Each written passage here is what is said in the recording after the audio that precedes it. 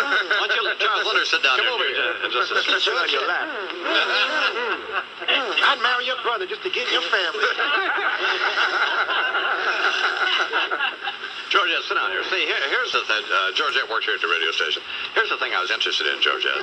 Are these two nitwits in here with these pickup lines? and I wanted to know if you thought they worked at all. Uh, depends who you're talking to. Well, they're going to be talking to you. Okay, let's Okay. see if they work. So let's try a couple on Well, that meat and bones one was good. You, you laughed at You made me laugh. That's the whole key. You made her laugh. you score points when you make me laugh. So that would. So if you were to run into them, say in a bar, Uh-huh. because somebody said that to you, that would be a way to break the ice, right? Or if I say, excuse me, do you believe in love at first sight, or do I have to walk by again? That's a good one. Girl, you smell it like a snack.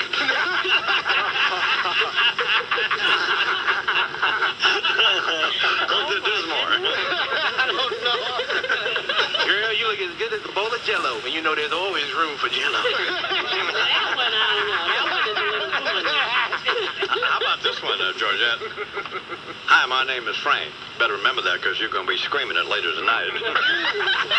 oh, yeah. No, that would make me mad. What does? Yeah, I would have to say something smart back to you. Like I don't scream. Well, try some, try some more, you guys. Here's a Bernard line. Hi, I'm gay. You want to straighten me out? say, sweetheart, they say size doesn't matter, but after tonight, it will. No, that's not a good one. All right, let's try another one. oh, God. Well, come on, you guys. You're looking like a freshly baked pork chop. You don't like that? Oh, yeah, that's, No. that's good. Oh, yeah, that's Sure, gonna make work. me feel like a Pull your pants down, you make her laugh. All right, how about this, Georgette? Okay. Girl with hors d'oeuvres like that, I can't wait to taste the entree. Nah. So she doesn't like dirty stuff. That's we, Georgette does not like stuff that's Cute but funny. She likes cute but funny. No, it can be dirty, Oh, it can. you know. How about I like to come back as a pair of jeans to wear your ass out? See, now that's good. Oh, okay. It's funny. Or- you know, funny can be dirty. Okay, Okay. so girl, if I told you you have a nice body, would you hold it against me? I don't have to get it. I, I don't want to be your boyfriend. I just want to give him a little help. All right, Say, girl, is your husband married? Oh, my God. This is one of mine to use. Do you have a match? Yes, my ass and your face. Fine. Georgette, thank you. Uh, the book is called You're So Fine, I Drink a Tub of Your Bathwater. Stefan Dreck and Monterey Ivy is published by Hyperion. It's available at bookstores everywhere. Uh, thank you both very Thank you, much. man.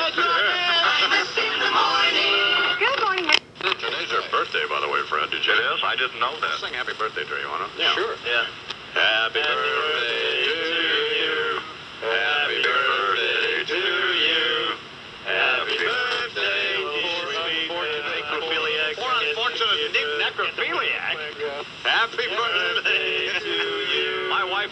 necrophiliac, Bernie. Prove it.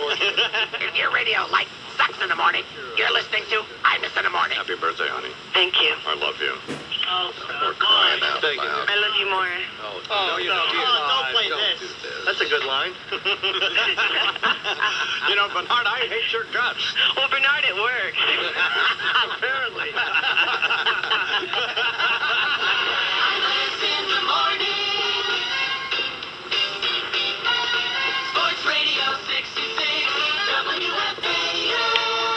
This is the I'm Morning Radio program. It's 6 o'clock, WFAN New York. Time for Imus in the Morning News. And Oh, game. figures you're going to find something to rip it about, right? Well, he almost had a perfect game. He hit a guy in the eighth inning. Right. Well, okay. So Still no one got a hit off him. it's not a perfect game, is it? No, it's not. No, it's Okay. He wound up not. It hitting. is a flawed mm, game. Yeah, it's a, it's a flawed no hitter. Kevin Brown of the Marlins Well, does the trick 9 nothing victory. trick? Victory. The no hitter trick. you know, he killed a guy in the eighth inning. What, what trick? He uh, mowed a guy down. Yeah. All right, he got the win in a 9 nothing victory over Okay, the that's, Giants at that's better. Candlestick Park. That's better. In a flawed outing. Yes. Brown took the historic game in stride. It was just, you know, old fun at the old ballpark. Well, he did do one stupid thing, as you mentioned, hit a batter in the eighth with two outs. But he still gets the victory. All right. We congratulate him. What is the slogan for the WNBA, the women's basketball deal? we got next? We got next. Yeah.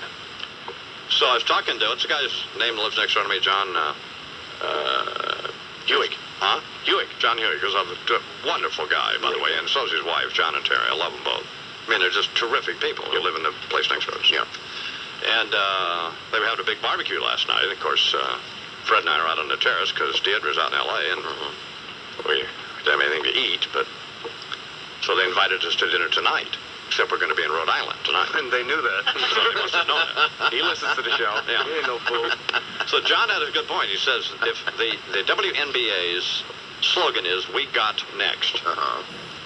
and then when they sit down in their uh, chairs there at courtside, on the back of the chairs it says "Stay in school." Oh, well, fine. I- we I- got next. Yeah. And Stay in school. And, must be like a playground expression, right? Yes, it is. We got, It's a hoops Yeah. expression. Hoops expression. okay, we got next. That's huh? Deirdre. I don't understand it. Can you explain it to me? Well, you go out there, there's a game going on in the playground, and you want to play in the next game, so you just call out and say, I got next. Or if it's a bunch of you, we got next. We got next. Meaning you have the Yeah. next game after that game is Or just flash a pistol. Yeah, or, just, or pull a gun. Yo, check it out. You know what that means? Check it out. We got next. You got the board. well, I, I've seen the slogan for months, and I said, I said to John, "Isn't it we go next?" He said, "No, it's not. It's we got next. Yeah, next." we got next If game. you went to the playground and said, we go next, they'd probably beat you up. The dumbing down. Not if Jimmy the Wags was with me, they wouldn't. No, they wouldn't. No, they absolutely would not. Um, and then you're going to announce these games, but you made a deal, and I had to read about it in the paper, and you didn't tell me, and you didn't inform me ahead of time. It's just uh, It's seven well, games whatever. for the local team, the New York Liberty. Mike's embarrassed. Why did you take that gig? Why did I take it? Yeah. Jump on the bandwagon, baby. This place is, this, Yeah. this league is going big time. They got next. Yeah, right. Pretty soon it's going to be better than the NBA. What's wrong with you? Nothing. They make you take the job? Chance to see 10 women in shorts. Ten skanks. What's wrong with you, That will be fine, Bernard. It's 24 after the hour. Please continue. All righty. As for the opponent last night's no-hitter, Giants outfielder Darryl Hamilton, who made the last out of the game, he was asked about Brown's performance. I'm not going to sit there and lie. He agreed today. nice sense of humor from Hamilton after being victimized last night. Also last night, Baltimore Orioles played two against the Boston Red Sox, and the Baltimore Orioles won two against the Red Sox at Fenway Park. They lead the Yankees now in the East by eight and a half. Yanks won a lapper, 12-1 over the White Sox. Manager Joe Torre liked this one. It was a great game. Nice, relaxing game. In fact, the Yanks were up by so many, Torre went into the stands in the seventh inning to sign some copies And of get his some new sun. book. Yankees minor league news, Hideki Irabo in his American debut, four innings, one hit, struck out six, and threw fastballs at 99 miles per hour. They'll be called up to the majors very shortly. Yeah. In hmm. tennis news, hmm. couldn't be worse. Steffi Graf will not play at Wimbledon and will miss the U.S. Open as well. Knee surgery. Oh, She'll be man. out four to six months. Oh, man. Yo, What's up with that? Yeah. And today she's Hey. also 28 years old. Happy birthday, Fräulein. That'll be fine, Yeah, Mike. boy. Get out, both of you. Hey, Bubba, why the face? The White House pantry run out of Slim Jims again? Nah, Beavis, I'm just preoccupied. General Joe Ralston withdrew his name from consideration to become chairman of the Joint Chiefs of Staff. How come? He one of those army dudes who forced female recruits to have sex with him? Oh, no, nothing like that.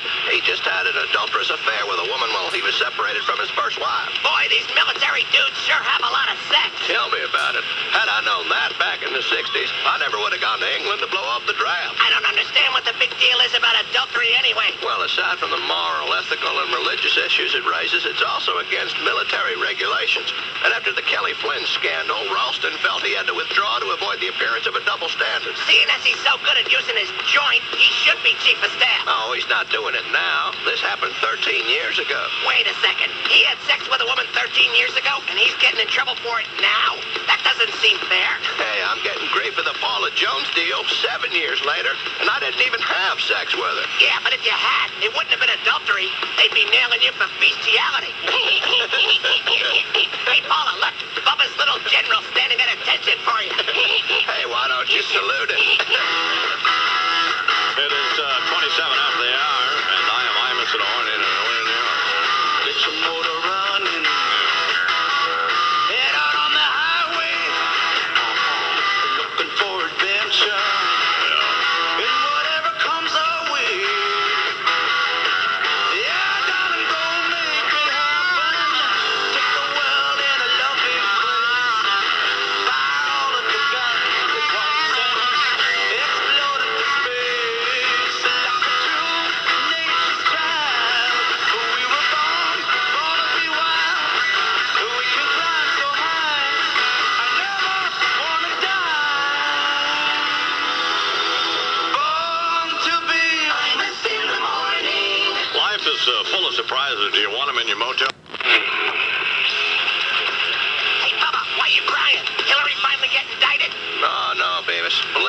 she had, I'd be shedding tears of joy, but I'm just a little bit melancholy today. My little girl's passed a milestone in her young life. What, she just got her first subpoena? No, you moron. Chelsea's graduated high school. I wouldn't exactly call Sidwell Friends high school. It's more like rich yuppie scum daycare. Nevertheless, it's still a turning point for her, and in a way, for me too. Yeah, yeah, she won't be bringing her little friends home for slumber parties anymore. You'll have to use your Secret Service dudes to get your young babes now. No, I mean, I'm gonna have to adjust to life in an empty nest. You should ask Hillary for advice. She's adjusted pretty well to life with an empty suit. Seems like only yesterday when we were back in the governor's mansion and I'd sneak through the back door late at night. Where you been, Daddy? Oh, I had a top secret meeting with Santa Claus, sweetheart. Run along to bed now and don't tell Mama. And now she's going to Stanford. Four years of not inhaling. I bet she'll be real popular at the toga party when her Secret Service agents grab every drunk frat boy who gets near her and wrestles him to the ground. I'm so damn proud of her.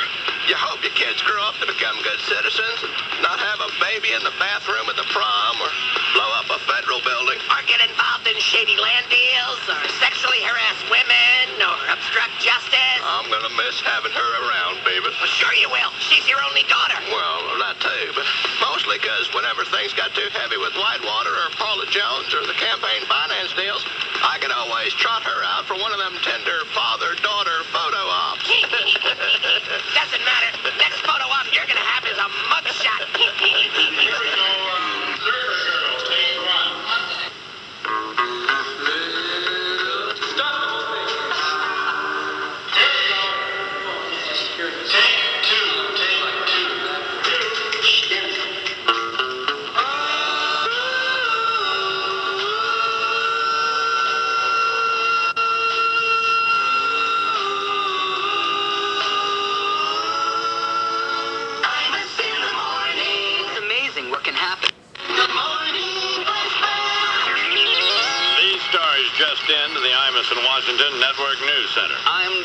Brinkley, the chairman of our news effort, joined by our usual list of pedophiles and worse, John Donald Imus, Walter Cronkite, Rush Limbaugh, Paul Harvey, and sitting in for Cokie Roberts, CNN's Candy Crowley, who, disguised as the mild-mannered rap star Heavy D, fights a never-ending battle for truth, justice, and the American way. Heavy, welcome. Good to have you with us. Thanks for coming by. Uh-huh. Here now, the news. In Israel, more turbulence today in the holy city, Jerusalem, after the Israeli State Highway Department, under the cover of darkness, built an interstate off-ramp right through the Al-Aqsa Mosque, Islam's third most sacred site, and used as construction fill, material blasted from the Dome of the Rock boulder, revered by Muslims as the site from which Muhammad ascended into heaven. Prime Minister Netanyahu, commenting on the unrest in the city's Arab sector in the wake of the project, said, in so many words, what's the big deal? And our microphones were there. So what's everybody got their turbans in a knot for anyway? This isn't an act of provocation. This is an act of shekalization. Opening up a toll road to some of the city's hottest spots that increases our foot traffic from around 4,000 a day to 100,000 a day. Have you run the numbers on that? I have. Believe me, Mojo Jamet Hamid himself should have signed off on this. And I'm sure Mr. Arafat will as well. Mazel tov. Well, we tried to find out and asked About the highway that now bisects the sacred Temple Mount Mosque and found him in a surprisingly conciliatory mood. The peace process, I am happy as the Hamelechit to say, is restored. Netanyahu is splitting 80-20 with two points up front. When we get toward 60-40, we have holy deal. 70-30, though, we still blow up everybody. we only want to be reasonable. In Washington, meanwhile, President Clinton has just issued a statement saying that he welcomed, uh, well, whatever, frankly. Here's how the president phrased it just moments ago when informed of the pending Arafat-Netanyahu deal. Hey, baby, go out? Hang on a second, honey. Yeah, well, uh, looks to me like a real fine arrangement, real fine, and one that America can support. I mean, hell, if Netanyahu likes it and Chairman Arafat, it's fine by me. I'm nearly positive that I've almost had my mind made up for me, barring unforeseen circumstances that I'm pretty sure I don't expect, most likely. In which case, of course, uh, we'd be willing to compromise if it makes sense, for the most part. Thank you. Thank you very much. Come here, Daddy. Oh, you look so good. How about you give me some peace, baby? On the campaign trail, the presidential debate structure is set. Moderating the event from public television, Jim Lehrer. A relief for the camp of former Senator Bob Dole, who had fought hard for Mr. Lehrer after it was proposed by the Clinton campaign that Oprah Winfrey moderate one of the debates. Honest. Well, Senator Dole reacted this way. Uh, Bob Dole's had enough trouble with the black folks this year without having to try to arm wrestle one of them. Would have been as nervous as a food stamp thief facing uh, Winfrey there. Huge woman. Everybody loves her, hates Bob Dole. I'm in Florida, you know, boning, the, or rather, cramming for the debate, working on Bob Dole's tan. Gonna make up for NAACP thing. Turn these poles around. Turn these poles around. Or uh, whatever. Say, uh, anybody seen my helmet? Also in our headline stories of the moment, ValuJet Airlines return to the skies with a rock-bottom one-way fare of just $19 from Atlanta's Hartsfield Airport to a destination that wasn't announced until the aircraft had lifted off. Here's how the on-board announcement sounded. This tape released by the National Transportation Safety Board later in the day. Folks, we just want to welcome you all aboard the long-awaited resumption of ValuJet Comfort Air Express to, uh, what's our first intermediate stop there, Charlie? I don't know. All I got is an Exxon highway map of a month. Well, folks, doesn't make that much difference, really. If your destination planning doesn't include a real big apartment complex, you boarded the wrong flight anyway. So uh, put your tray backs down and your seats in their stowed and locked position and... Oh, wait a minute now. Is, is that the other way around? Charlie, give me a little photo. It's a nine-minute silly hour here on the uh, nine minutes in the morning program, and pleasant. I think we did a couple of versions of that. Uh, I uh, said an afternoon talk show on WFAN New York. It's number one. All right, let's talk about it now. And, and I think in the spirit of candor What? and uh, and uh, veracity here, that's, that means honest. Uh, I think I figured it out. Though. Dog went to school with Denise Austin. Yeah. Good line, Mike. She graduated. If your radio light sucks in the morning, you're listening to Imus in the Morning. at my house, we don't eat meat of any kind. Does she know about And, uh, the bread hot dogs that you have here? Uh, that- that- mine- Two, three at a time. Shut up. I don't have any hot dogs. Bacon and egg sandwich. I, know, I, I don't have any bacon and egg Oh, sandwich. come on. What's the matter with you? Chase Chasing little farm animals around the office. yeah, but that ain't for food. I'll tell you what, I can make a chicken laugh. That's right.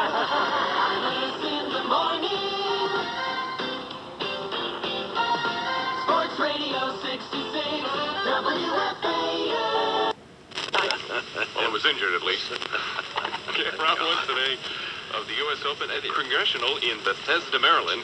156 men will tee off today, including, yes, Jack Nicklaus playing in his 40th U.S. Open. Wow. And the Golden Bear has fond memories of his Open appearances. Down the stretch with Arnold and, and breaking Hogan's record in 67. Uh, Pebble Beach, w- you know, withstanding what was out there that week, which was pretty tough. And then, of course, again at Baltusrol, which uh, uh, where the people were just unbelievable. Any memories in the last 15 years, Jack? Remember that double bogey back in 87? Missing the cut back in 91? How about that 10 I got in the hole in 95? Those are the fond memories of the Golden Bear. And in baseball, good news for the Boston Red Sox. Roger Clemens finally lost. After going 11 and 0, Clemens losing, Toronto dropped a 5-1 decision to the Seattle Mariners last night, so Clemens now 11 and 1. That's sports. I'm Mike Breen. It's 27 after the hour, and I am Imus in the morning. There's a Wait a Milana in the morning. Nothing could be sweeter than a Federosa Fina in the morning. Ah, forgive my paroxysms of unrestrained joy, my friends, but my revelry knows no bounds. Tis great to be a conservative these days, and it's all due to the fact that, to paraphrase the bard from A Midsummer Night's Dream, what fools these liberals be.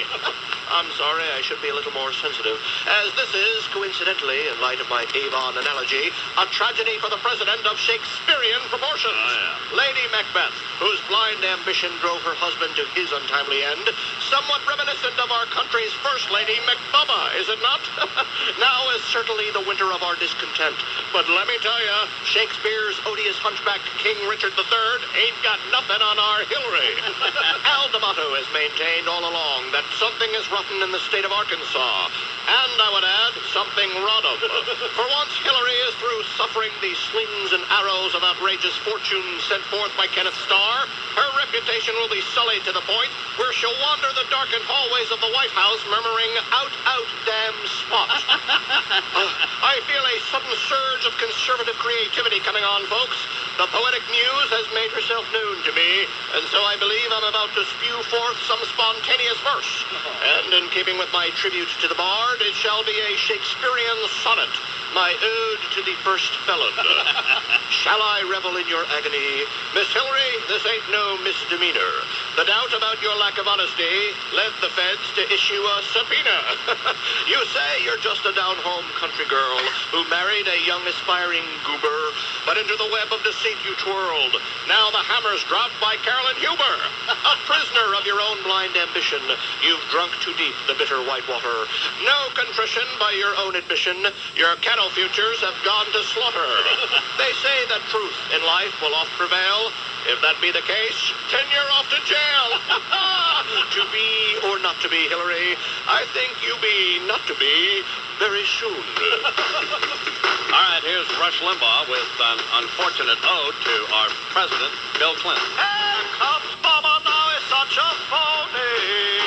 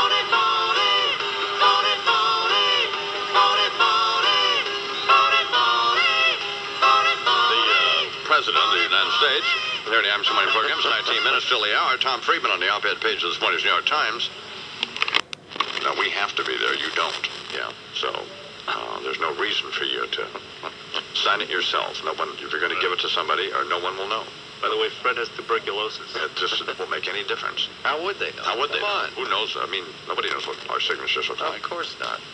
There will be snipers placed along the uh, various highways leading into the Westchester Pavilion to prevent you from arriving there safely. So, and should you manage to get in the building, Yeah. there will be uh, Jimmy the Wags and various other uh, f- folks who work for Bo Dietl will be there to pummel you. Contend with that for a Yeah, should you try to get in to get your book signed, and don't and don't call Borders Books in, Plains and think that you just don't do that because I, we're not interested. I'd like to go there for about an hour and go home. so that's what I would like to do. Yeah, man. So uh, we flew up on uh, the Gulfstream 4 from executive on Pat O'Brien. So wow. we're pretty up about that. That's huge. Pat, fresh off his appearance as a judge, along with Mike Love and some other losers. Uh, oh, yeah. Oh, yeah. At the Miss Universe pageant. Actually asking the women questions. Well, hi, everybody. Here's Miss Guam. Your radio sounds funny in the morning. You're listening to Imus in the morning. They wanted you to come over, actually, to the Today Show, Fred. I'd have gone over to Jane Pauley with them still over there. Okay, that's fine. Jane Pauley's I back. kind of crawled from Santa Fe Be fine. over there on my hands and knees if Jane Pauley was still doing this today show. Are you, uh, are you I going... kind of walked backwards. Fine, Fred. You can't walk across the street. you Leave my brother alone, you They want to wish you a happy birthday on Tuesday. That's what they, Yeah, well, they're it's having you. Are you coming to the station today, Fred? Yeah, how do you get there, I wonder? Just tell the ambulance driver.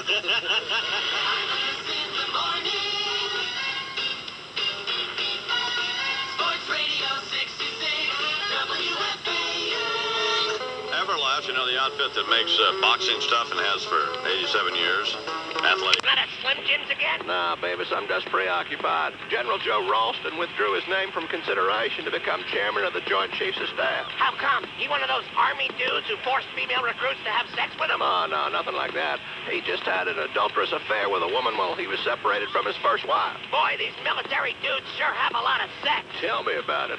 Had I known that back in the 60s, I never would have gone to England to blow off the draft. I don't understand what the big deal is about adultery anyway. Well, aside from the moral, ethical, and religious issues it raises, it's also against military regulations.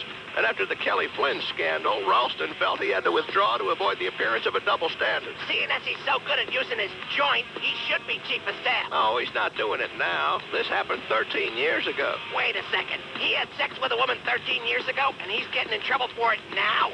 That doesn't seem fair. Hey, I'm getting grief for the Paula Jones deal seven years later, and I didn't even have sex with her. Yeah, but if you had, it wouldn't have been adultery. They'd be nailing you for bestiality. hey, Paula, look. Bubba's little general standing at attention for you. Hey, why don't you salute it? Hi, Miss the Morning News Time. It's six minutes past the hour. Oh, by Westinghouse CBS is celebrating their 10th anniversary today. And um, they're having a big party someplace that, uh, unfortunately, Fred and I... Well, I've, we may be able to get there, but I, I, I, I don't see how. But... Uh, Don't scare us. Well, one of the things I don't understand is it doesn't. Uh, this radio station wouldn't exist without this program, and it was in fact about to be. They were about to go off of the air, and right, and then uh, uh, GE, which when we worked for NBC at the time, Charles and I, they sold the, that radio station to um, uh, Infinity Broadcasting, and so we just simply switched from NBC to WFAN, but remained at the same place on the dial at 660 on the dial where I've essentially been for 25 years in New York City. So, um, and not, were it not for that, there wouldn't be any radio station. But you don't get that impression by reading this book, so I'm glad I'm not going to this thing anyway. It's offensive. Service. It is. so It is actually. It is mildly offensive. Yeah. It's like Scott Meyer trying to take. Well, it's, it's, it's, don't even get me started. No, don't no, get me no, started. with no, this. no. It's, it's, it's, and you know, and then they wonder why uh, the management of the radio station wonders why I hate them. So and fight with them all the time. And uh, even though I personally like the general manager Joel Hollander, yeah, and the program director Mark Chernoff, but professionally hate them because they're just they're they're like all radio station general managers. Essentially, they're scum. So they're just hideously scummy weasels. It's like a job requirement. it is. It's almost a, yeah. It's almost a situation deal. This is your final opportunity. This is it. You get your copy of uh, Two Guys, Four Corners, which is not only on the New York Times bestseller list, also on Publishers Weekly bestseller list. Wow. Will be at Ridgewood, uh, in Ridgewood, New Jersey, at Bookends at uh, 10 o'clock in the morning. Okay. And uh, you can call them and and uh, and buy a book from them, and then they put those aside and we sign those. So their phone number is 201-445-0726 Bookends in Ridgewood, New Jersey. Two Guys, Four Corners, sponsored by Mohegan Sun, where we will be on July 26th, but more. And now, Imus in the Morning 2020 Sports with Mark Reed.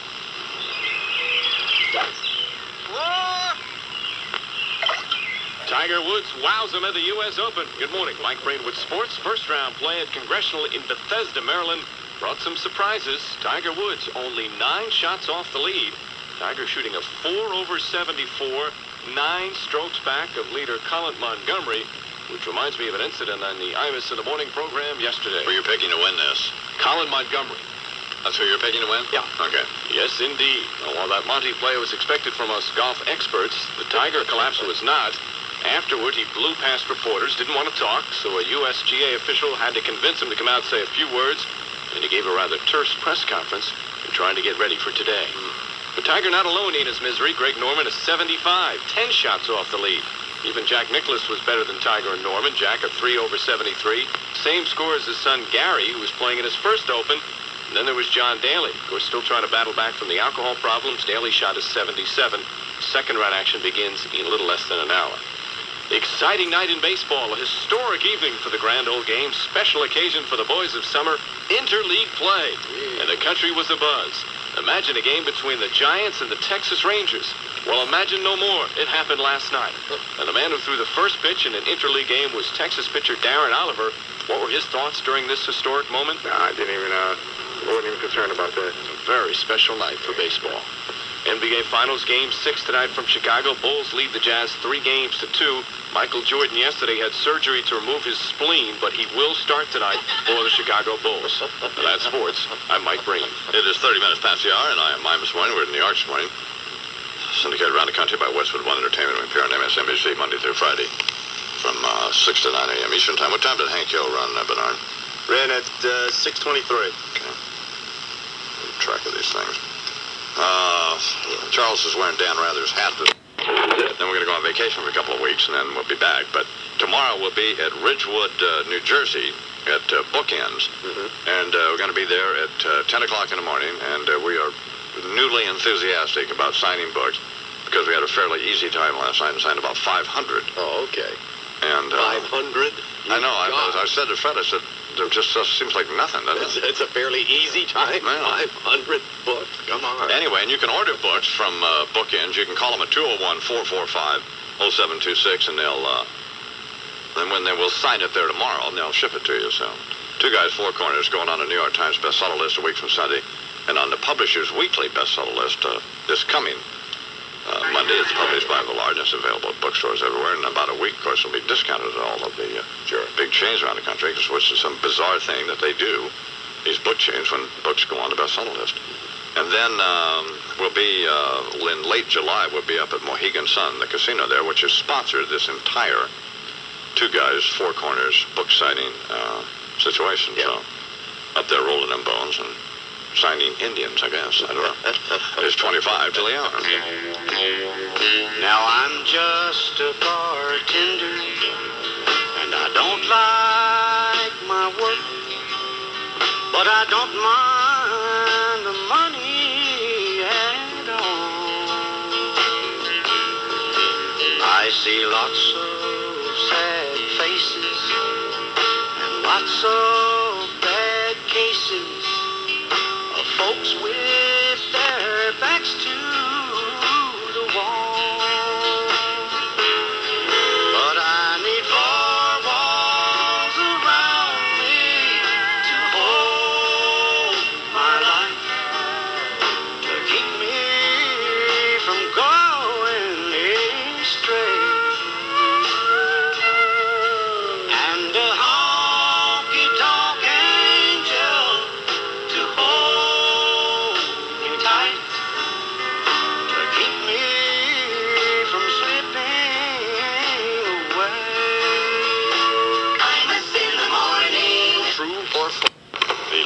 George S. Patton.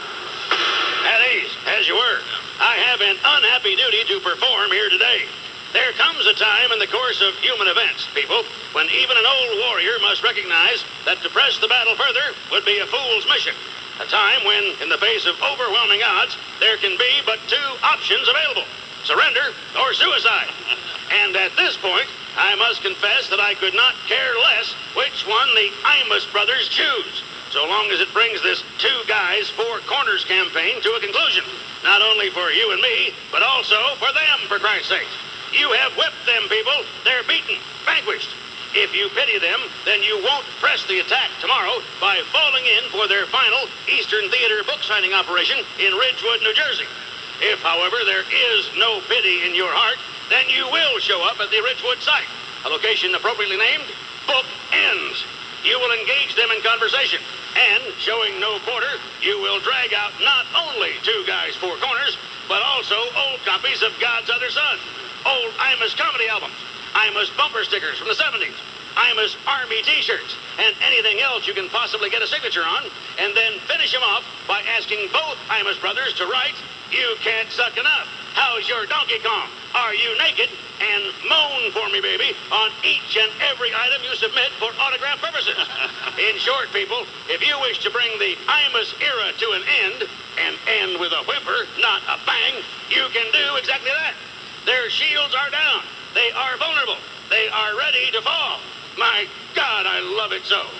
If you desire it, when you get to the table at which the Imus brothers sit, greeting fans, they will both be pitched forward into a bowl of Southwest salsa, idiotic cowboy hats askew, with Jimmy the Wags and Glenn manipulating the pens still clutched in their hands, scrawling signatures on your books in a weekend at Bernie's thing.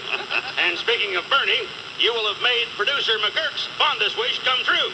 That Villard Books really will have to retitle the Imus work, Two Guys, Four Coroners. Thank you for your attention. That is all. The late gentleman George S. Patton Jr. here on the I'm Swing program. It is 18 minutes uh, till the hour. The priest and rabbi are coming up. And then, Now live on NBC. We're blanketing the airwaves. How are you guys? Uh, fine, Katie. How are you? You guys really occupy two very different worlds these days, don't you? Hey, Well, Fred lives out in Santa Fe and runs uh, his deal there and has a little lower key existence than I do, but we're both fairly happy. But Fred runs the Auto Body Express, right, Fred? Yeah, I don't go around on a jet, but I, I do have an F-150. That's good. I like on the jacket of the book, you guys, when you have about the authors, you say they are not members of Mensa. I was so, so shocked when I read that, Don. if your radio like sucks in the morning, you're listening to Imus in the morning. Well, we could get you some kind of medal for all this hardships you've gone through on these I photographs. know, woo-woo, wah, wah. She just I like the me, one uh, of the goats and the sheep. You know, that was pretty So did. Fred, by the way. I know. I understand Fred thought a couple of them were pretty cute. Fred. I married one of them sheep. Thanks, fellas.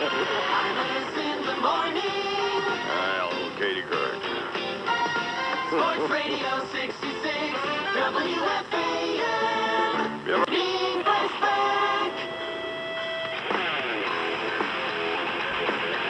Hey, Bubba, Webb Hubbell's on the phone for you. Oh, great. What do you want now? More money? yeah, yeah, lunch money. Yeah, I wish. You think it's expensive to feed that fat bastard? That's nothing compared to what it costs to keep that big fish-lipped mouth of his shut. a wad of bills the size of a baby's head. If I knew back then that helping him out was going to come back to haunt me now, I would have just dumped his lard ass out there by the cannon with Vince. Nah, you needed a forklift to do that. Would have cost suspicion. I guess. Well, at least none of that cash came out of my pocket. Got them greedy Riady dudes to give him a hundred grand. They probably thought they were donating directly to Buddha himself. It's all so complicated, Beavis. Whitewater Gate, campaign finance gate, now Hush Hubbell Gate. To tell the truth, it's getting harder and harder to circumnavigate. But the truth has always been easy for you to circumnavigate. No, I meant these Byzantine controversies are so closely linked, they're hard to circumnavigate. and the more they investigate, the closer they are to having you to interrogate. Hopefully I can litigate so they can't castigate. I castigate all the time. I didn't know it was illegal. I just thought it would make me go blind. Just sit down, O'Brien. God, to walk around the studio when we're trying to do the news. Don't play around with that, Pat. Is this Francesa's? No, it's not. Just, just don't play with it. Well, let's just, I just... Well, Goodbye. Well, no, go on. Well, I can't help it if he's rude. We're having a conversation. Well, just- can't you- can't you just be quiet? I'm not the one talking. The Boeing 747... Look at the back of O'Brien's head. It looks like a sand trap, doesn't it? Well, I give up. I give up. You read the news. There. You read the news. Take the whole damn thing. Your radio sounds fun, Marty. You're listening to Imus in the morning. You realize I'll come over there and beat that. You're not going to do anything. You threw something at me. Well, you're not going to, you know, first of all, you're not, don't threaten anybody with any kind of physical violence. You're not- threw you, stuff at you me old this morning. fool, you're not going to He do anything. stuff You look like this Reginald Denny leaving Yeah, you. you look- you look- you look- Watch yourself, buddy.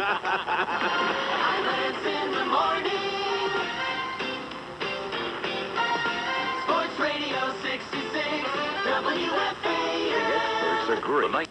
It's a. From Kinky Friedman's Little Green Trailer, here's the king of the hill, Hank Hill.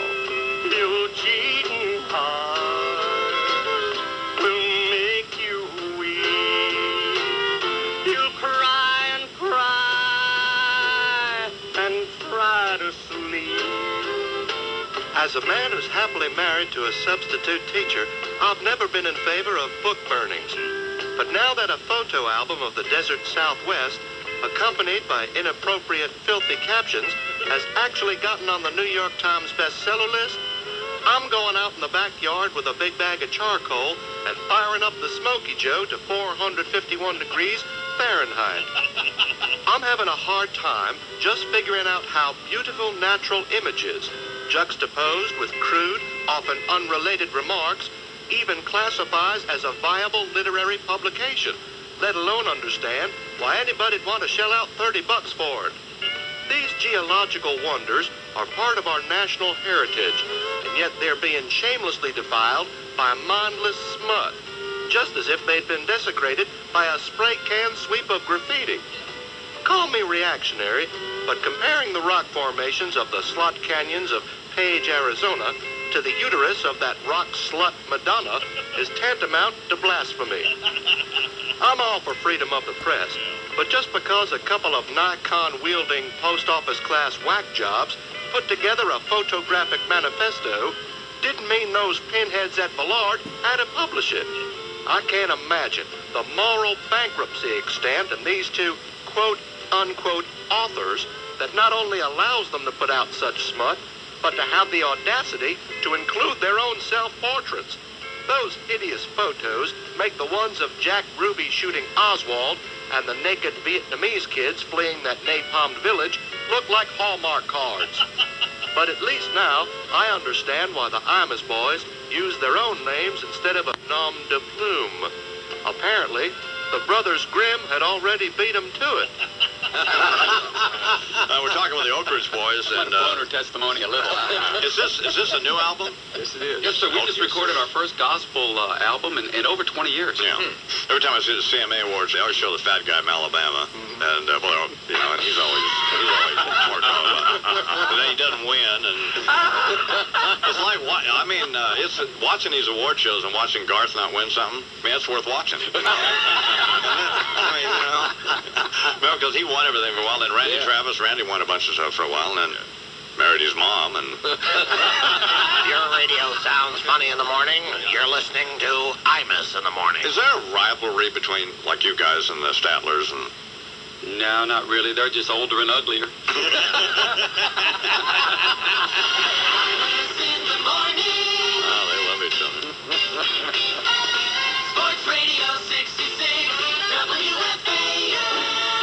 WFAN. The Fuji Film Smart Endeavor. It's a personal and I think it's almost, disgraceful that Marcia Clark's book. I mean, I just think that's disgraceful.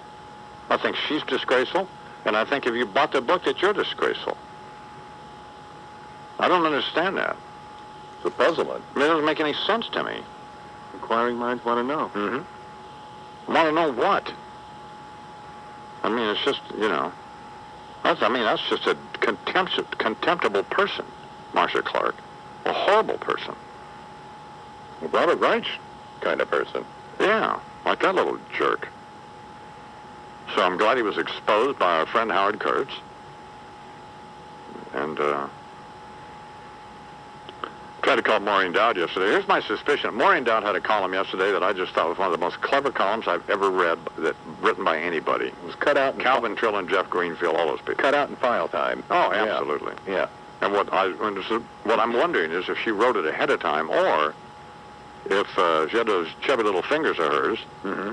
pounding out the uh, this prose on the old keyboard there after the decision came down from the Supreme Court because it was in the paper the next morning.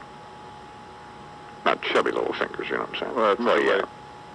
Uh, I suspect she did. Had it written ahead of Yeah. time, Scenario two. You didn't get No, a hold of scenario two. Second.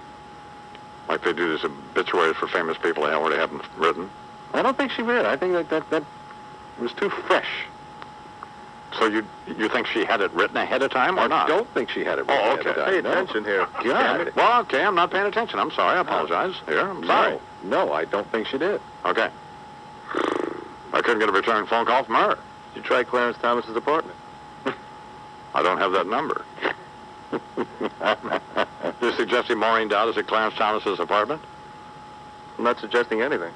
Well, uh, You there's the said, did you implication. try it? you can infer what you like. So instead of buying Robert Reich's book or Marcia Clark's book, you should buy Two Guys, Four Corners. Absolutely. same list. I mean, this is not only is it a great book for Father's Day, it's just a great book. Two Guys, Four Corners. Me and my brother, we took these photographs of the Southwest. You think, well, what kind of photographs? Well, they're world-class photographs. And then I wrote all of the captions for the photographs, and some of them are laugh out loud funny. Yep. And there's pictures of uh, me and my hideous little brother when we were growing up on a ranch. Speaking of kneeing somebody in the face.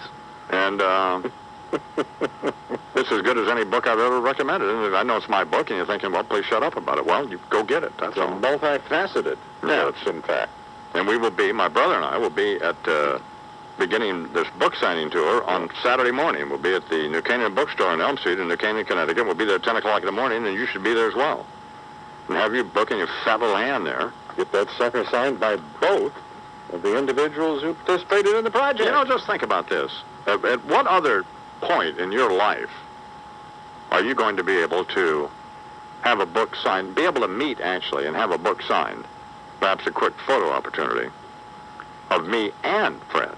This is this is a rarity. This is like this is like the passing of the Hale Bopp comet. I mean, this is a, Fred and I don't have any plans of doing another book. Well, of course not. I mean, this would represent nearly the ultimate. Plus, we have to wait for Fred to take any more good pictures. It could be some time.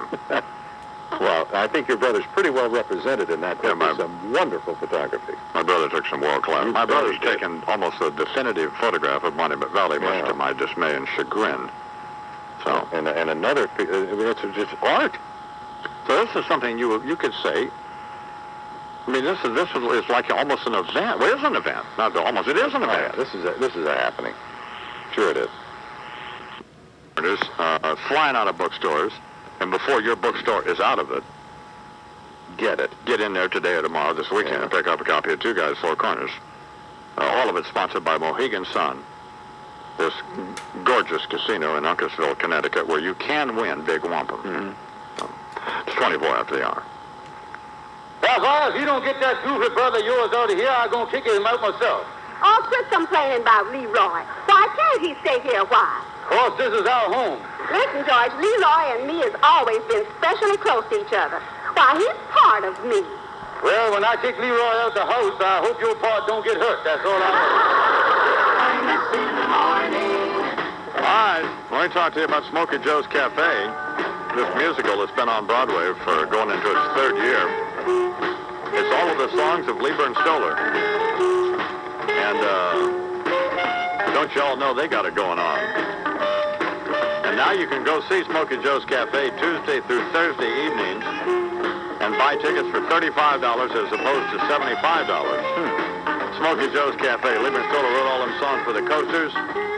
I need some coffee in here.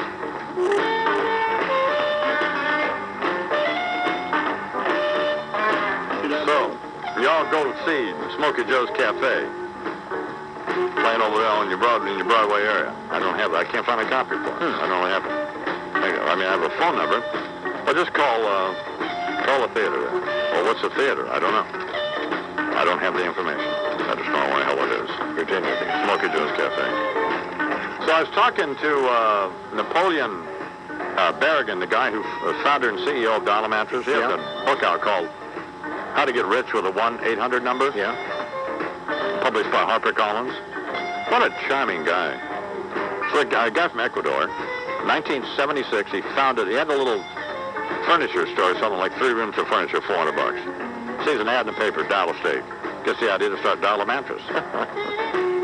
And now they're doing $80 million a year, and he's got this book that will tell you how to make money with an 800 number, or just to make money selling stuff. But he's a fascinating, very charming, nice guy. And uh, reason enough to buy a mattress from Dial-A-Mattress. They've been doing this for over 20 years, obviously. He's a good guy. Big name brand mattresses.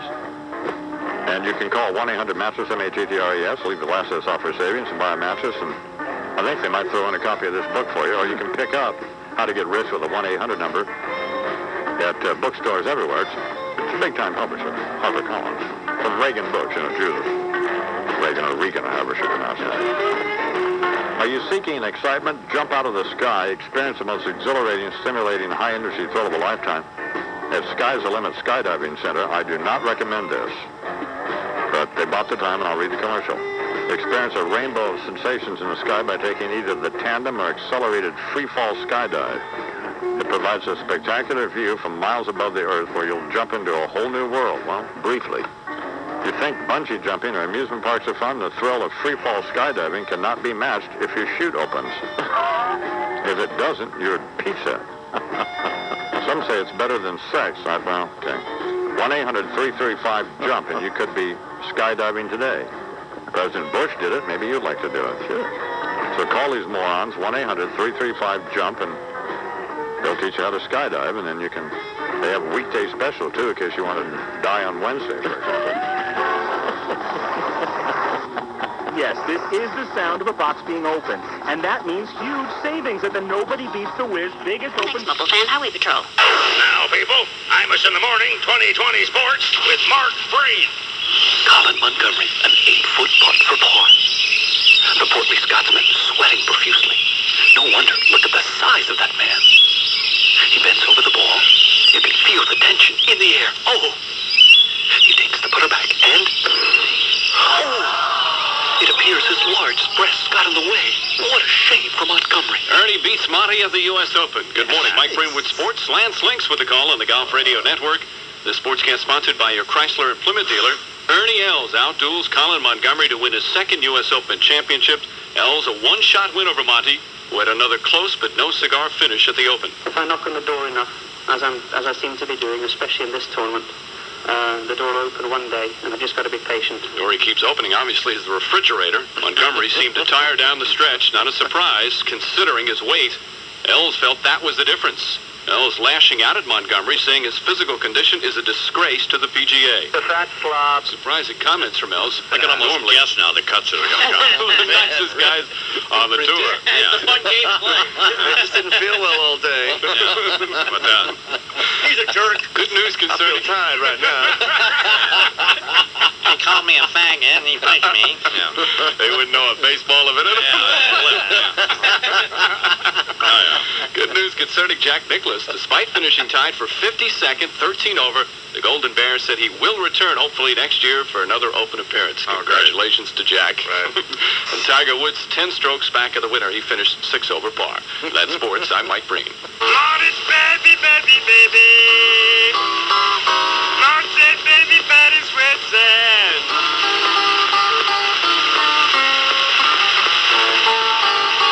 Yes, I said baby, baby, baby.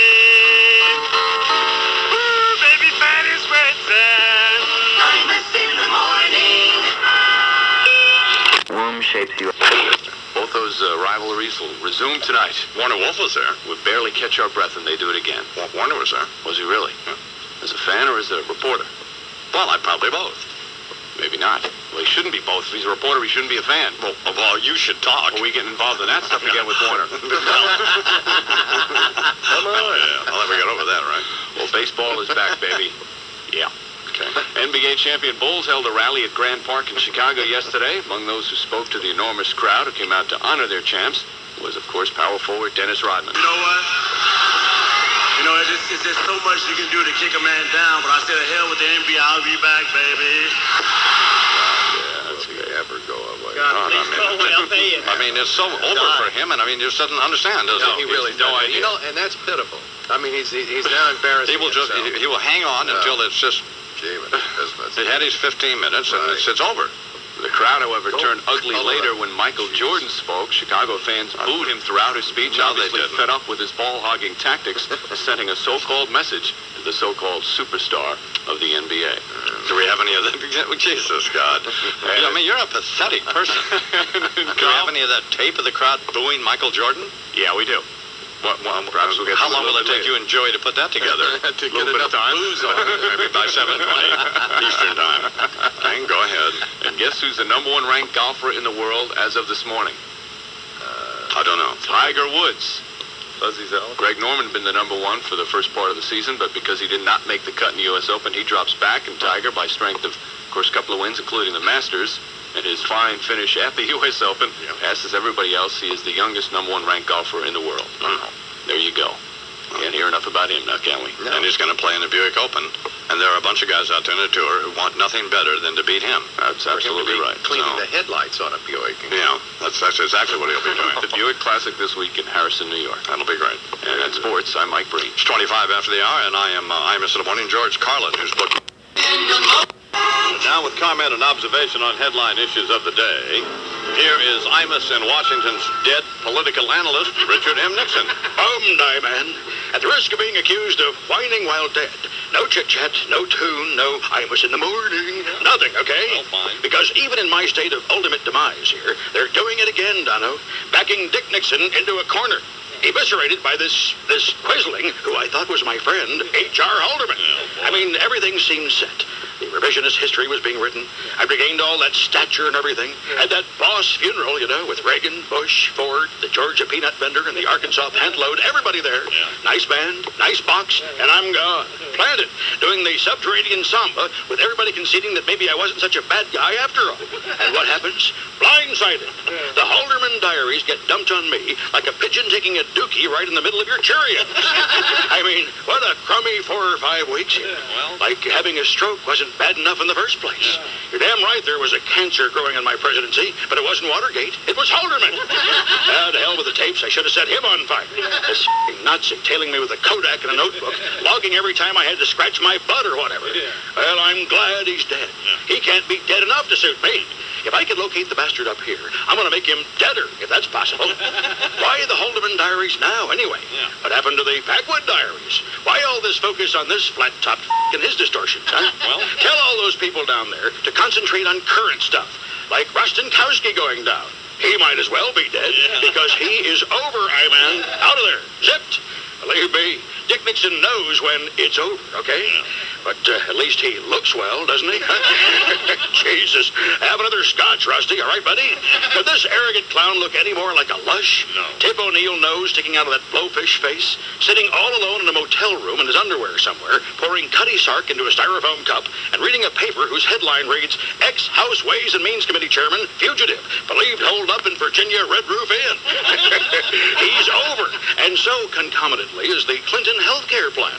Uh, question regarding that, if I may. Okay. You've got, what, uh, 37 million Americans who don't have coverage? Right. Okay, give it to them. And leave the other 200 million Americans alone. How hard is this? Bellevue to Bubber. Hello? Is the doctor in for crying out loud?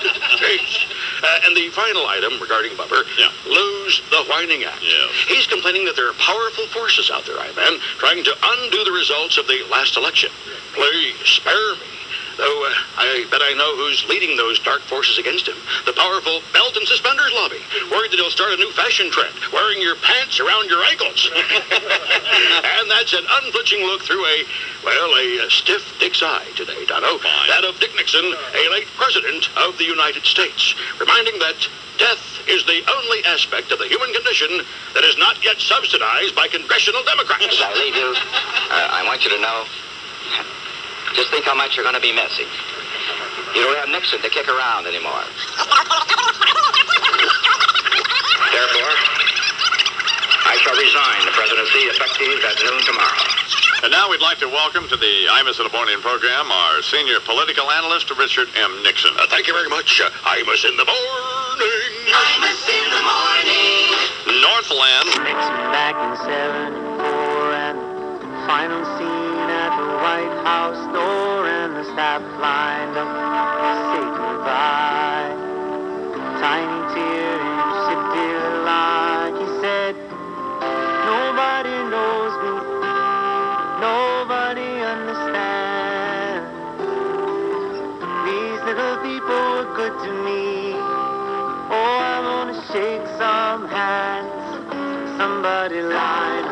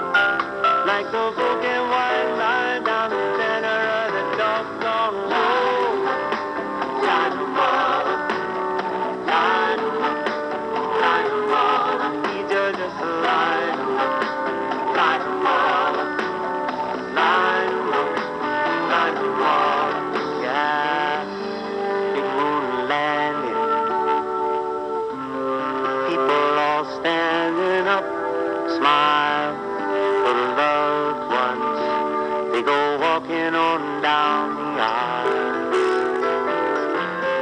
Each re-engaging, stepping into the sun. I watch them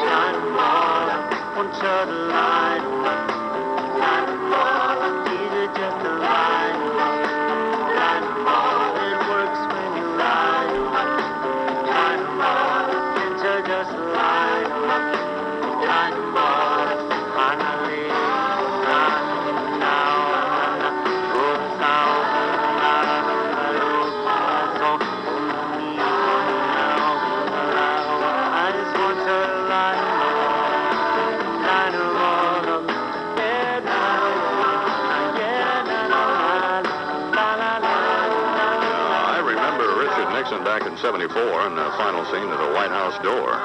And the staff lined up to say goodbye, tiny tear in his shifty little eye. Yeah. Uh, that's from James Taylor. Line him up. Line him up. This is the morning program. James Taylor will be here a little later this morning. And uh, uh, I don't know if James wrote this song for George Jones or if James recorded it.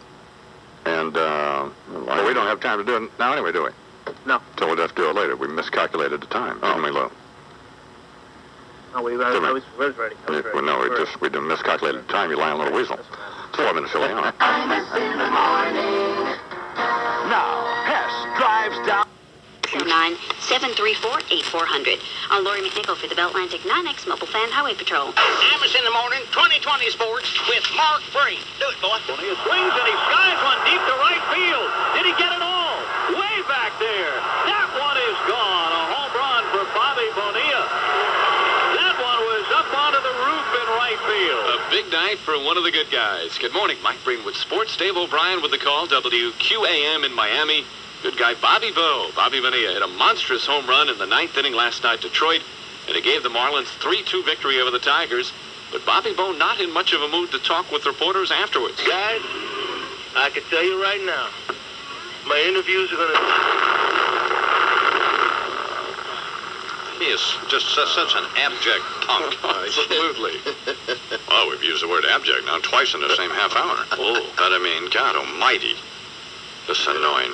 Can't get enough of Bobby Bo. Mike Breen continues. Also last night, another raucous sold-out Yankee Stadium in the Bronx, 56,000 plus, and this time the Yankees get revenge. They beat the Mets 6 to 3. Winning pitcher was the portly David Wells, who used an old baseball cliche to explain his game plan. Better go out there and just play fundamental baseball and, and, and just let the cards lie. Is there some reason that each time he steps off the mound, he insists on grabbing his penis?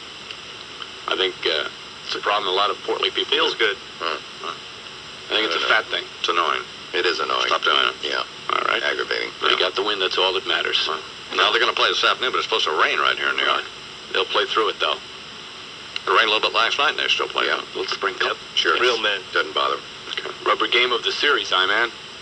Largest crowd ever at the new Comiskey Park in Chicago. White Sox beat the Cubs 5-3.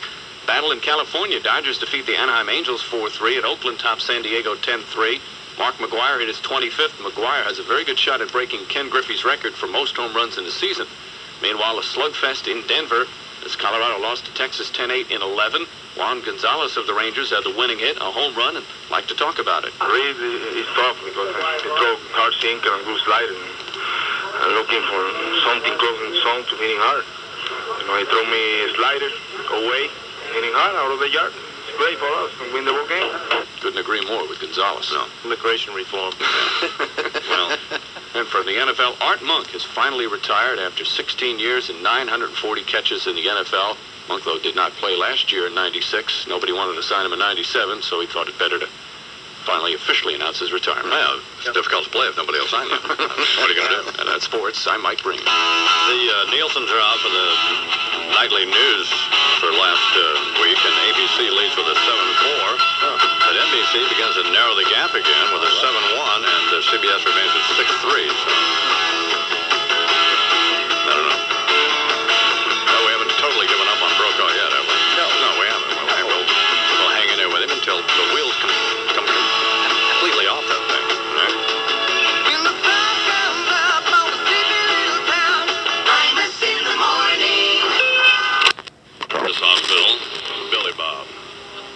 I reckon you want to know what I think about this Watergate anniversary deal.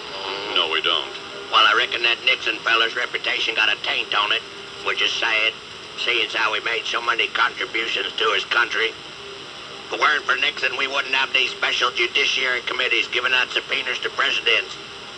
If it weren't for Nixon paving the way for what this Bubba fella's done today, we wouldn't have what they call arrogance of power. But I reckon what goes around comes around. And if you're gonna do something wrong, you gotta pay for it. Like that Dennis Rodman feller. He made fun of all them Mormons. They made him pay $50,000 for it. He would have been a whole lot better off if he'd just made fun of them funny-looking Amish folks. Some people call them the Pennsylvania Dutch. I call them funny-looking Amish folks. He could have mocked them all he wanted, because they don't got no radios or TVs, so they never even would have known about it in the first place. Good point. But I reckon Dennis will probably get in trouble again, because they say history repeats itself, especially when you don't learn your history lessons. That Nixon feller had a boy named John Dean what told him there was a cancer on the presidency, but Nixon didn't listen. You'd have thought Bubba would have learned a lesson from that. But I reckon if somebody told Bubba there was a cancer on his presidency, he would have probably thought they just meant Hillary. She was around back then with that Nixon feller. She was part of one of them judiciary committees. Charge all them subpoenas. And what goes around, comes around. Because now, and instead of giving out them subpoenas, she's one of them that's getting them.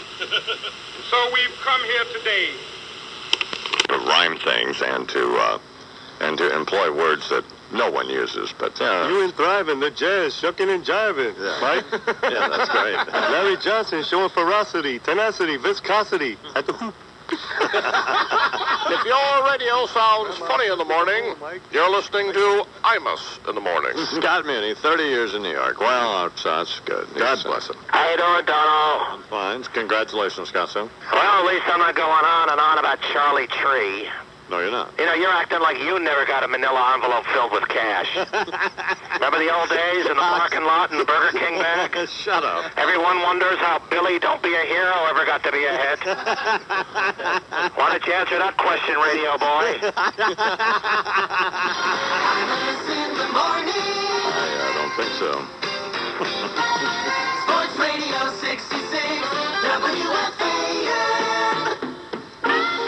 It does sound stupid. And it sounds really stupid when you say it. If your radio like sucks in the morning. You're listening to Imus in the morning. One sec, just briefly a little politics of it. Uh, sure. Well, yesterday we had. How long am I on? About, about as long as you want to be. So. Until you fall asleep. Yeah. Thank you so much.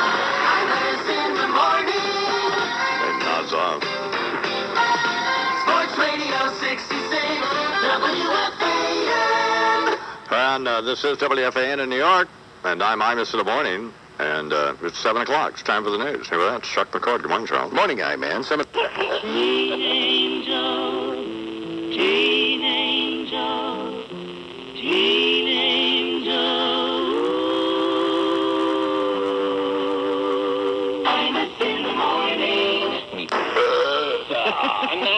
now, in the morning, 2024, with Mark Breen. Arnold Palmer is in trouble. He's got to make this putt. No, I can't believe it. Neither can Palmer. What a turn of events here at the 66 Open. More painful moments in the U.S. Open. Good morning, Mike Breen with sports. Golf play-by-play from a champion forever, the history of the U.S. Open. The leader after round one at Congressional, a burly Scotsman.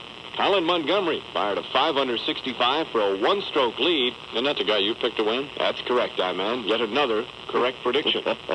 because this one's over. You and Fred are about as have about the same average, about one out of a hundred. One every three or four years? Yeah. Montgomerie was at comments about Mormons.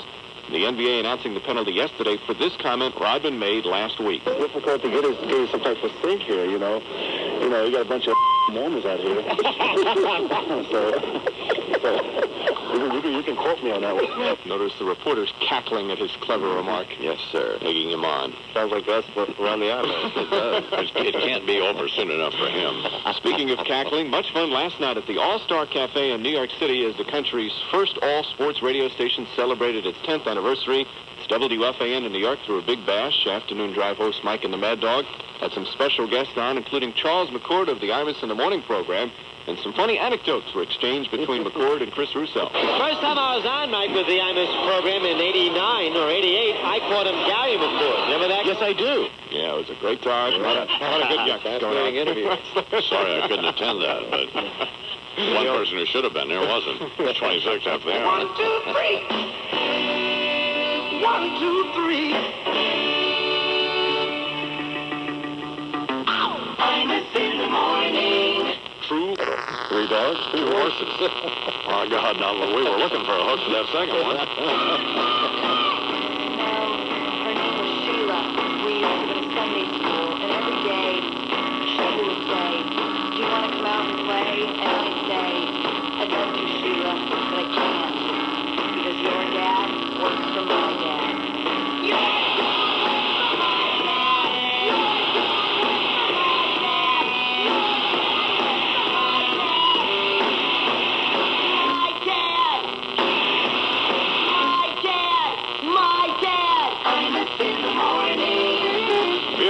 it's a quarter till the hour. Mama,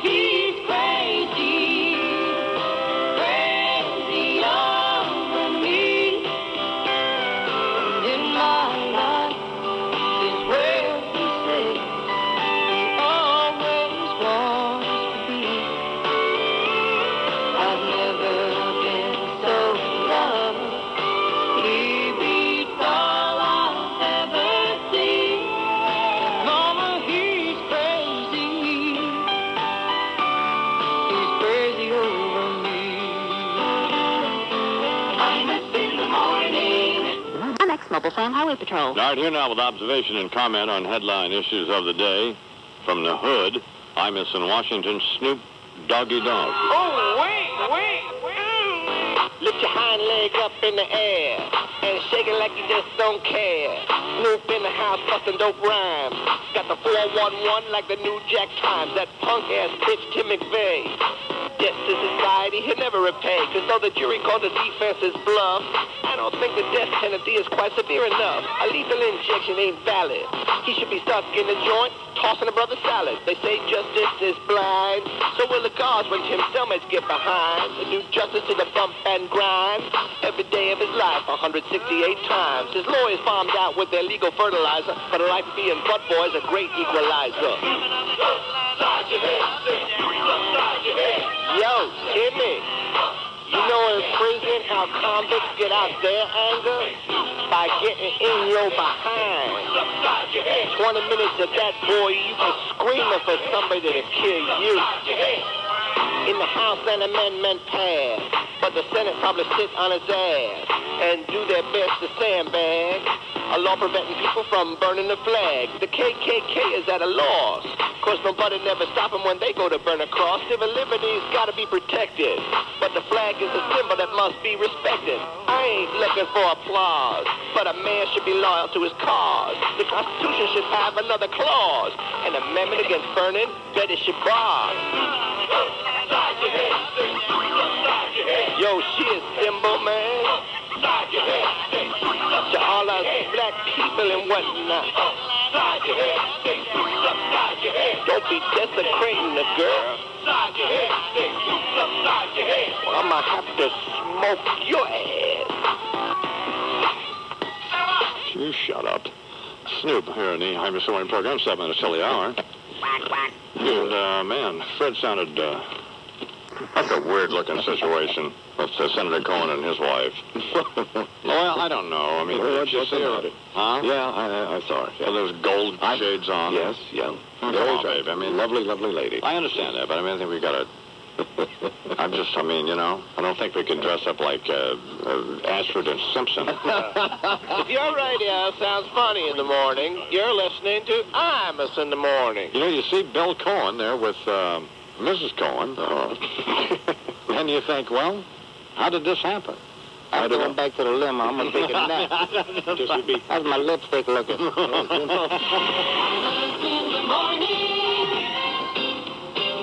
Sports Radio 66, WFAN. Next Mobile Phone Highway Patrol. And now, Imus in the Morning 2020 Sports. Here's Mark Breen. One ball the count to Webster. The right-handed batter awaiting the delivery. The Wohlers pitch. Swing a line drive. Hit well to right field. Going back is the right fielder Jones to the warning track. He leaps. It is gone. A home run. Lenny Webster. The Orioles take the lead. Five to three in the top of the tenth. Orioles sweep the Braves. Good morning, Mike Breen with ah. Sports. Fred Manfra the call, WBAL. Interleague play. What excitement this weekend. And the Orioles did a number on the Atlanta Braves, swept them over the entire weekend series, including that 10-inning victory yesterday in it. They are. And right here now on the I'm in the program, Paul Harvey. Hello, Americans. Stand by for news. And as always, the rest of the story. Dateline USA, Eastern Seaboard, it's over. Now, I know you thought it would never end, but by the grace of the Almighty, like the plagues of Egypt, couldn't last forever. Two guys, four corners. One bullet in my brain, please. I mean, did you ever think you'd find yourself wondering, chapter chum, whether maybe part of Timothy McVeigh's motivation was that he thought there was a B. Dalton's in that building? Shut up. Bend me over till I oink. I thought I'd never be so sick of the printed word, Americans. And you know the worst of it? No. Best sellers list. Hmm. A picture book best sellers list. No, no. You explain it to me. How two rhinestone cowboys who make you long for Eric and Lyle Menendez could dupe the entire publishing industry and hump a book of my summer vacation slide shots into every book bin in our nation is beyond me. And then have reviewers cooing and frothing over the thing like, well, like Jan Wenner judging a gerbil rodeo. Just awful. Yeah. I just hope you didn't find yourself caught in one of those interminable lines to get a copy of the Imus Brothers book autographed. How are you supposed to tell whose signature is whom's? I mean, one X looks so much like another, doesn't it? Well, at least it wasn't difficult to determine which Imus brother was which. The one who bit your head off if you so much as blinked wrong and hoped you'd choke in a restaurant where no one knew the Heimlich maneuver?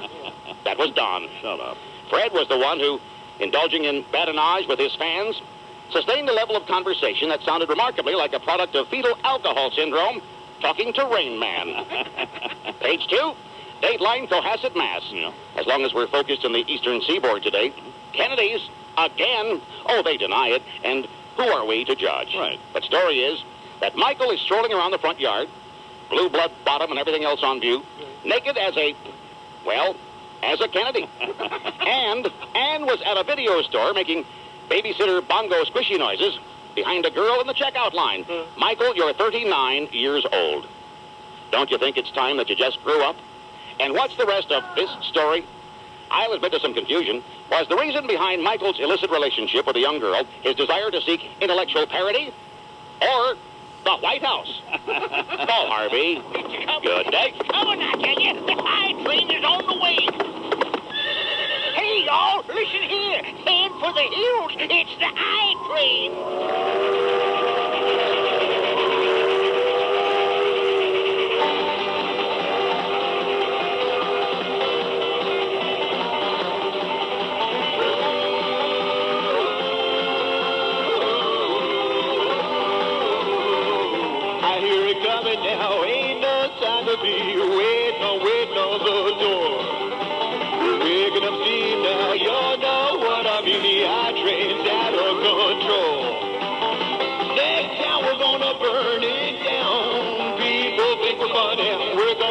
Money. Other stations gonna wish we weren't on the dish. Their ratings gonna hit the ground.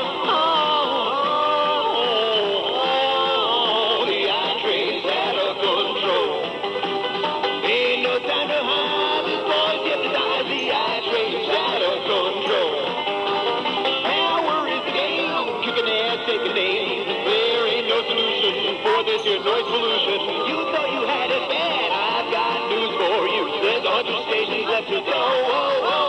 Say this to, to you people in Tampa and Providence and, and, and Washington and Boston and Cleveland and Chicago. No, I am a huge deal. This is the I Man. Hello. John, I, I, I, I am, I am a genius. Power is the game. Kicking ass, taking names. There ain't no solution for this here noise pollution. You thought you had it bad. I've got news for you. There's a hundred stations left to go. Yeah. As the engineer of this here train, I'm a recommending that we just keep a moving on. There ain't no stopping us, y'all. What the hell do you think we're here for? We're gonna tear the rest of them down.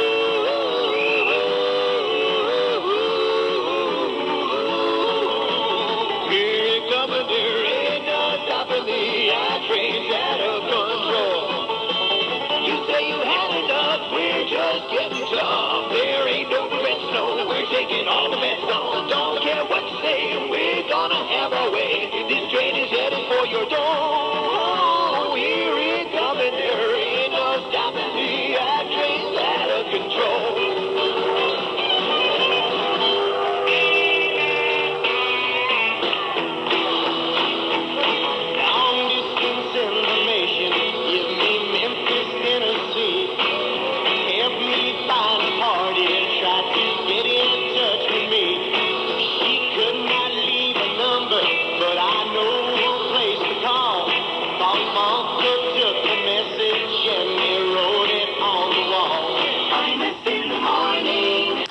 Four till the hour, and I am I, Mr. the Morning. Here's Jack from Wayne. Good morning, Jack. Good morning, I-Man. How you doing? I'm all right, baby. Listen, I-Man, I was in Ridgewood on Saturday. Yeah. And I stood online for a couple hours to uh, view the body and listen to Fred read a eulogy, man. I think you got a lot of nerves talking about people as they're walking away.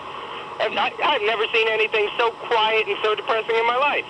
You mean making fat jokes? Making fat jokes. Are you fat? No, personally, I'm not. The guy in front of me was. He, was, he had one of those extra large Auto Body Express T-shirts for you to sign. Thank God we make those, huh? Yeah, that's a cool shirt. I do love the book, though. Well, that's really what we want this call to be about, and not you whining about my brother commenting on fat people. He wasn't making jokes. He just commented that a lot of a lot of the I-Man's fans are fat, and they are fat. So, but that's fine with me. Well, he ought to enjoy that. It's how he's selling the chips. I understand that. So, in fact, they ate all the chips that were there. So that's. I know, they were delicious. I had a couple myself. Please stop sucking out, Jack. It's 23 to the hour here in the I Miss the Morning program. Two guys, four corners. Now, uh, this Sunday uh, debuts on the, this coming Sunday. So, uh, Bernard, fresh off a uh, a uh, a uh, sold-out performance at the uh, Public House in Boston over the weekend. Yeah. Do you take your wife on those trips with you? Of course not. I mean, no. no, it's work. Yeah, it's it's come on. No, she didn't. Uh, not sometimes, but not on the, not on this occasion. did you Would you stay over Saturday night? I did, yes. Why was that necessary? The appearance was from four to six. Could have easily caught a sh- seven o'clock shuttle. I have friends in Boston, Dad. We were just in Boston for the, nearly the entire weekend. Couldn't you have seen your Couldn't you friends have seen your friends then? I have lots of friends in Boston. My You, you couldn't get to them all, I man. Come on. Well, I mean, we were in Boston. We, we didn't have to stay. We, went, we, we left immediately after the book signing came out to New York. Well, uh, uh, well, well, actually, my wife was uh, away at a wedding this weekend, so uh-huh. it was perfect. I see. Well, it sounds a little suspect to me. Come on. anyway, back to Senator Lieberman trying to run that, you know, disaster bill jive by. Uh, Mobile Fan Highway Patrol. Imus in the morning. The following is a paid political announcement. Hello, this is Ted Kennedy. From time to time, as part of my uh, determination to recover even the uh, barest modicum of uh, political relevance, I shall be addressing you by means of these uh, paid political appearances. I have two matters to uh, raise today. Well, actually, three. The first would be my glass, which I see is empty. I say uh, I see my glass is uh, empty. Uh, here you go, Senator.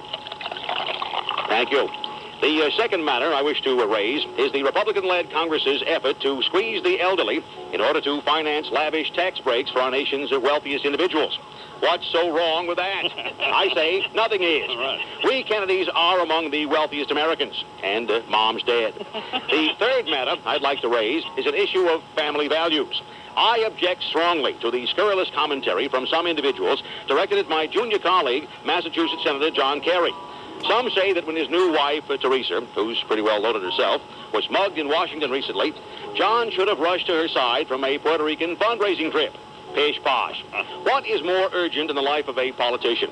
Administering a hug, as it were, to just one more hysterical female, or administering a hand job, as it were, to one more potential donor?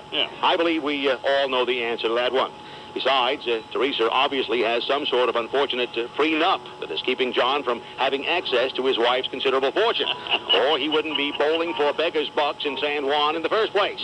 Now, were I John, I would let this word go forth from this time and place to Teresa. Come on, cutie. Give up the booty. I'm uh, certain that John's decision to speak to his wife by phone does not mean he loves her any less. After all, is that not what a crime victim's hotline does? of course.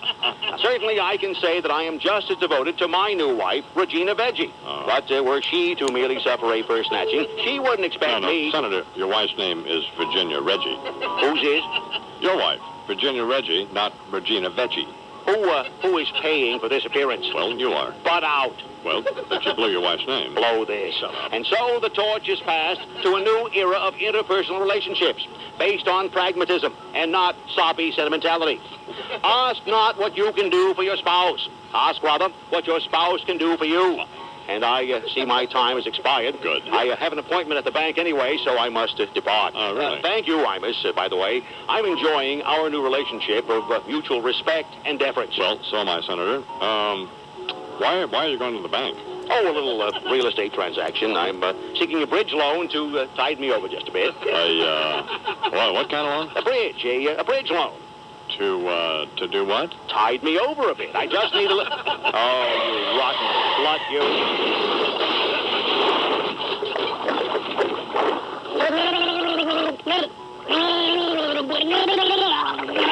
And so, my fellow Americans, ask not. He has directed. Copyright 1997. Infinity Broadcasting, all rights reserved. Imus in the Morning is a presentation of WFAN and Westwood One Entertainment. Shame on both of them. This concludes the entertainment and revenue generating portion of your broadcast day. We now return you to the rest of your local programming schedule. An indecipherable embarrassment of broadcasting incompetence that compelled the station to subscribe to the Imus in the Morning program in the first place. The entertainment and revenue generating portion of the broadcast day, the Imus in the Morning program, will resume tomorrow morning. Check your local listings for time and schedule. For sports scores and sports news, it's WFAN 2020 Sports at the top of the hour, 20 past the hour, and 20 before the hour. That's 2020 Sports all day, every day on the fan. Sports Radio 66, WFAN New York. WFAN 2020 Sports. It's 10 o'clock. Good morning. This is Mike Breen.